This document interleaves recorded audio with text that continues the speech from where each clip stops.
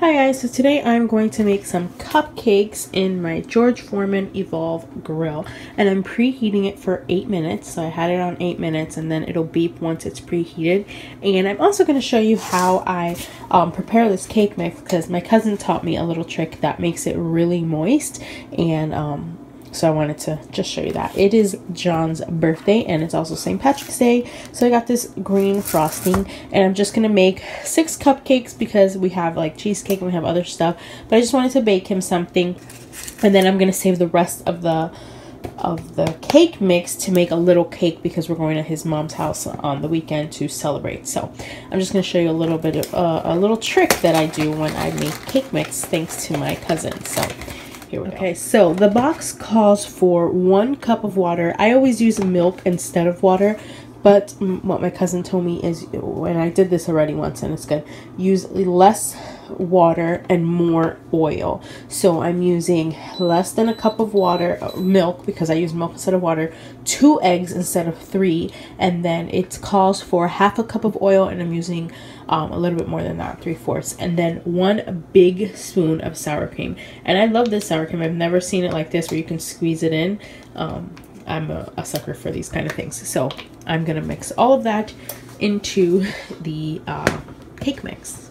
Okay, so last time I filled these up a little too much and the tops got a little, not burnt, but they were brown because of the top of the grill. So make sure you don't fill them up too much. I'm, I don't even know if this is good or if I should have put a little less, but we'll see. Um, normally you have to fill them up about halfway.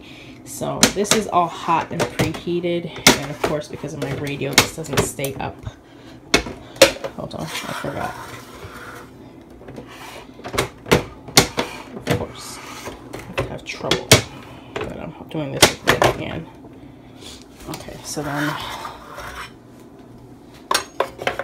in there. And then I'm going to put it for 25 minutes. I can't remember exactly how much I put it last time. But I'm, I feel like it's 25 minutes.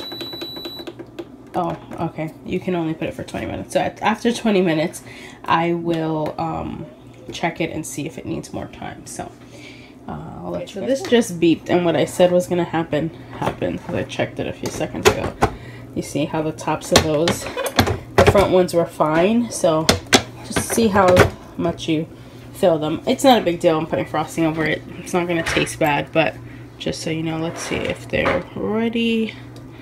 And yep, it's clean so they're definitely ready so 20 minutes if you prep it on 350 for 8 minutes and then cook it for 20 minutes and I didn't put this part in until oh this is pretty hot so make sure you don't touch that with your fingers until um, I went to cook it so I don't know if you could preheat it I guess with this in it and then put the things. I don't know however but I'm gonna let them cool and then